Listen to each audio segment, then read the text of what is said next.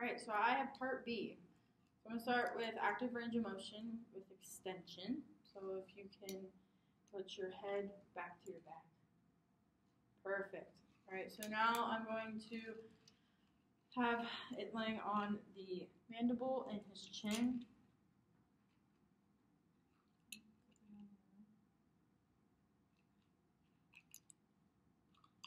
All right, can you extend that? So I got 10 centimeters, so then you'd want to measure this to see if it gets any worse throughout your period of time. Um, next we have is active range of motion for rotation. So if you can look to the side, look to your other side, perfect. So I'm going to put this on the mandible right here and the lateral part of the acromion and he's going to turn and look towards me. Got about eight centimeters. So next we have passive range of motion. So he's going to lay on the table.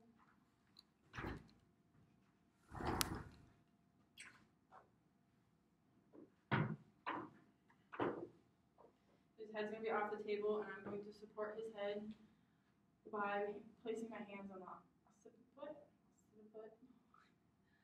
and then I'm going to flex his head for him. This is going to be a firm end feel from his uh, chest, his chin hitting his chest. Next, we have lateral flexion, so he's going to bend to the side, bend to the other side, being careful not to move too fast so they don't throw up. That's going to be a firm or a soft end feel because of the soft tissues in the neck. Next, we have manual muscle testing, so you're going to be on your belly. We're going to do cervical extension. So his head's going to be in a neutral position off the table, and I'm going to have my hand on his thoracic spine, and he's going to push up against my hand. Perfect. First, this is testing the trapezius and the levator scapula. And then for rotation, he's going to sit in the chair again.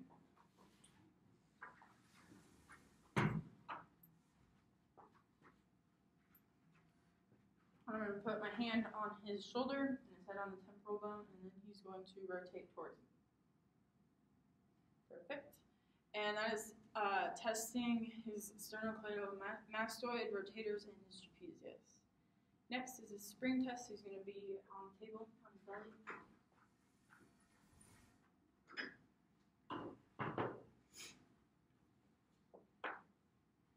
For this, we are checking for his spring and his ver vertebrae.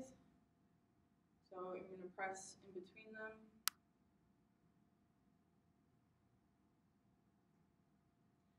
This is testing if he has hyper or hypomobility in his vertebral.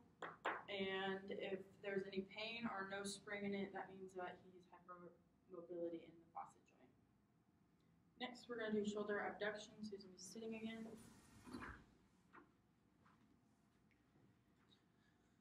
So for this one, I'm just going to tell him to extend his arm and go and put it on the top of his head, like so.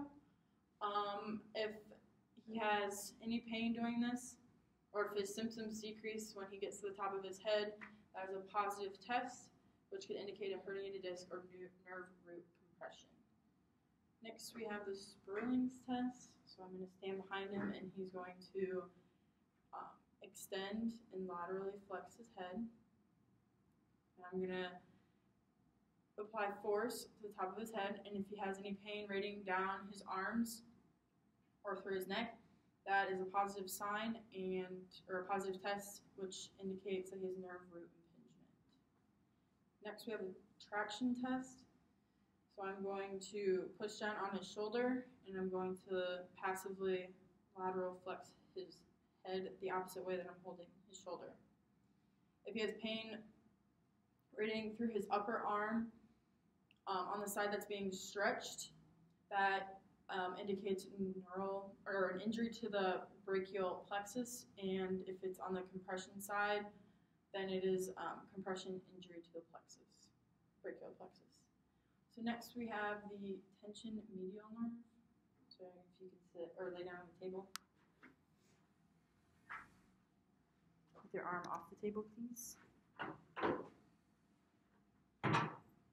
So for this one, he's gonna passively let me do everything. I'm gonna ask him if he has any pain with any of the steps that we do for this test. So I'm going to de- depress on his shoulder. He's gonna abduct to 10 degrees and I'm gonna externally rotate and extend. His elbow is gonna be passively extended already. He's gonna supinate and then he's going to, I'm gonna extend his fingers. Again, through all this, I'm gonna ask if he has any pain. If by the end of this there's no symptoms or very minimal pain, I'm gonna ask him to laterally flex his head to the opposite side of his arm. So. Um, any, again, a positive test would be any symptoms occurring during this, which indicates an abnormal tension to the median nerve. Next, we have the tension ulnar nerve. So again, same thing. Gonna depress the shoulder, externally rotate, and abduct, and extend. His elbows are to be passively extended as well. But this time we're going to pronate at the elbow. To extend or flex, and then extend the fingers. Again, I'm to ask him every through every step if he has any pain, and by the end of this, then he's going to laterally flex his head the opposite way. Again, if this was positive, he would have pain, and this is an indication of tension to the ulnar nerve. So next we have the brachioradialis reflex test. So if you can sit on the table and have your hand relaxed. I'm gonna find it. He's gonna lift up his hand, and it's gonna stick out. And put my thumb on it, and I'm gonna press. I'm. I'm feeling for any contraction of that nerve, which I did. Um, if I feel it bilaterally, then it's upper root or upper motor lesion, and if it's unilateral, it's lower motor neuron lesion. Um, also, you can have uh, too much of a reflex or too little of a reflex for this. And the last thing we have is the vertebral artery test. So he's going to be laying at the end of the table. And I'm going to hold his head. So for this, I'm going to externally or externally or extend. He's going to side bend and rotate to the same side. He's going to hold. I'm going to hold this for 30 seconds. Um, looking for anything if he gets dizzy, if he gets nauseous, if his pupils um, change in size. Uh, this is an indication of uh, oc- occlusion of the cervical vertebral arteries.